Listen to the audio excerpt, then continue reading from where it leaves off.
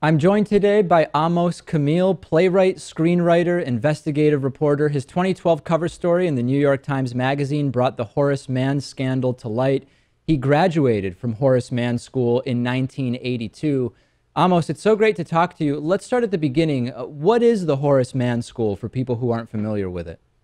Sure. Uh, Horace Mann sort of plays on a big stage in uh, American educational history. It's uh, perennially perennially voted one of the top 10 schools uh, in the country by Forbes. It's an elite private school in the Riverdale section of the Bronx. And uh, really, the 1% have always sent their kids to uh, HM. And uh, today it's more like the 1% of the 1%. And I, I was lucky enough to get a, a scholarship there when I was uh, a sophomore. I was a good baseball player, and I was recruited to go there. So uh, at the time, they had a lot of middle class kids there as well. And in the Boston area, it's probably like the Milton School or something like that. So. And you graduated in 1982, and you broke the story in a New York Times article about just the, the rampant sexual abuse in 2012. How did you decide on the timing of that? That's right. So it, it was a slow process. Uh, essentially, uh, we had known that there were uh, I wouldn't say abusers, but uh, at the time, in the in the language of a 15 year old, teachers acting strange or stay away from this one, stay away from that one, those kind of whispers. Hmm. And uh, both boys and girls at the school, the, the school went co ed in 75, we would talk pretty openly about which teachers to avoid. And then about 10 years later, after I graduated, I went camping with, uh, there were five of us, and we went camping. And one night, a guy that I call Andrew in the book, told us that he had been uh, abused by a very popular football coach named Mark Wright. And what happened after that was we went around the campfire telling different stories about drinking with teachers, about uh, rumors, uh, a couple of cover stories uh, came out that night. And then we went on with our lives. And about, it was literally tw 20 years later, uh, the Sandusky uh, trial hit, and he was everywhere, Penn State and I called Andrew and I asked him how he was doing, and he said, "I'm not doing too well. I wish somebody would write about it." Hmm. And that, as you suggest, uh, ultimately became uh, Prep School Predators, which was the cover story uh, of the Times Magazine in June of 2012. And what's your understanding now of how many people were? Well, I guess the two sides to the question: how many teachers and staff were abusing students, and also how many students were abused? At the time that we published uh, in, in, the uh, that I published the piece in the Times, we I had accused credibly three teachers uh, of abuse. What happened in the wake of the article was really just a tsunami of uh, credible accusations, and now, sadly, we're up to 22 abusers at Horace Mann, not victims. Victims were probably uh, 32 have come forward entered into a very difficult mediation process with the school, but we know there's many more out there. But that's why we wrote, uh, we wrote Great is the Truth. It was really the, the number, you know, to date, it's the, it's the largest recorded uh, concentration of uh, sexual abusers in one institution in American educational history. And uh, we knew it was bad. We didn't know it was uh, quite this bad. It was sort of a you know, Catholic school bad, as somebody said, Catholic church bad.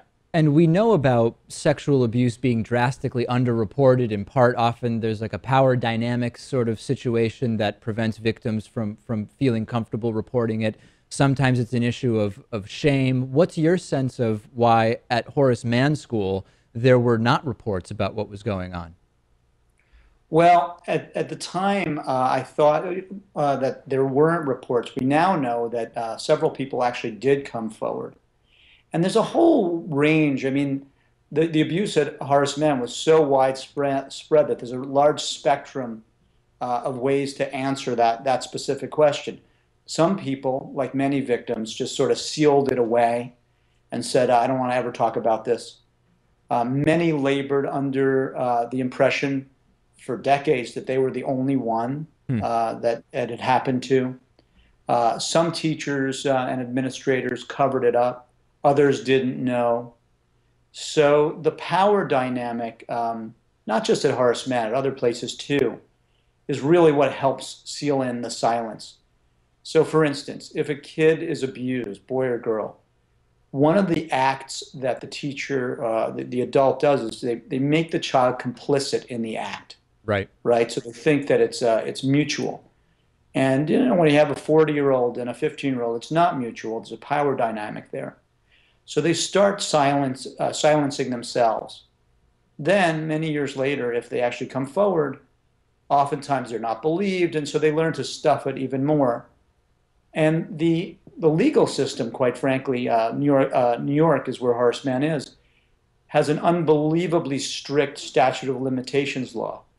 So, a child uh, has only until a person who has been abused has only until the age of 23 to come forward in both uh, civil and criminal cases. And we know that most people, if they ever talk about it, only do so when they're in their 40s or 50s, 42 being the average. And as you talked about, there's this sort of mediation process that has been going on. There have been some settlements offered by the school. Some people have accepted settlements, not everybody has.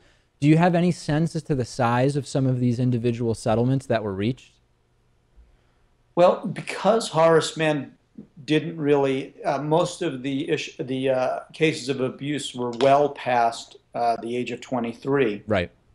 Horace Mann uh, took a very hardball position, and as I said, 32 people came forward, and they took the position that we don't owe you anything. So what, whatever you get is going to be out of the goodness of our own hearts. And many of these people, you have to remember, this is some among some of the wealthiest people on the planet uh, who sit on Horace Mann's board billionaire, hedge fund uh, folks, and real estate people. So if uh, a victim's uh, uh, legal counsel was asking for a million dollars or two million dollars, Horace Mann would counter with something along the lines of five or ten thousand dollars. Wow. And for some people, they understood it was a negotiation. Others started talking about re- being re-traumatized uh, by that hardball uh, position, uh, and certainly didn't lead to uh, healing. And is that, I mean, I know you've said you've had feelings of guilt for sort of opening this Pandora's box with the 2012 New York Times article. Does this re traumatization that you're talking about play a role in why you've had feelings of guilt, or talk about that a little bit? Sure. You know, at the time when uh, those of us who were not uh, abused and were sort of inner circle watching uh, and hearing what was coming back from the mediation process, I, I started to question what good it was all doing. And I, have I've since changed, but I had moments of doubt and also moments of doubt of just all of the, the, the sort of poison coming out. And, um, you know, I started to really understand why people keep silent for so long. It was just so horrible what was coming out. And really, why you know why I wrote "Great is the Truth" is really because not not what happened in the past, right? We can't really fix that, but what how Horace Mann, uh, its current administration, reacted in the present. There's a way. Mo- most victims don't come forward looking for money. They don't really have the strength to do so. Many of them. They're looking usually for two things. One, for somebody to acknowledge that what happened to them actually happened to them, mm-hmm. and two, from somebody from the institution to actually apologize. So that didn't, uh, it happened in a very lawyered up way in the Horace Mann case. And um, although some people, I don't want to speak for everybody, some people are uh, pleased that they've been able to move on with their lives, many, many, many of the victims, and many of us watching from the outer circle uh, are saying, Horace, we thought our school was better than that. And uh, the, the, the name of the book, Great is the Truth, is the motto of the school. So that just sort of added insult to injury. Last thing I want to touch on in the limited time we have left what's your sure. sense of how much school administrators knew at the time of what was going on? My sense is that they knew, uh, not all of them, but they knew there were uh, as new headmasters uh, came aboard, uh, they were told. Certainly, some of the board members knew. Certainly, some of the teachers knew. Uh, knew uh, in term because uh, students had either come to them uh, or their their kids had told them. in some cases, teachers actually went to administrators. So I definitely assumed that everybody knew. All the teachers knew at the beginning. Mm-hmm. I've softened a little but many adults who were there at the time. And remember, The abuse happened from 1962 into the late 90s, 96 uh, being the latest uh, that we know of. So that's an extraordinary long period for people to know about all of this abuse going on. Uh, and it's a tiny campus. There's you know 600 people at Horace Mann at the, uh, every any given time. So people definitely knew. I'll remind everybody the book is Great is the Truth Secrecy, Scandal, and the Quest for Justice at the Horace Mann School. We've been speaking with the book's author, Amos Kamil. Thanks so much for being here and telling us the story. I really appreciate it, David.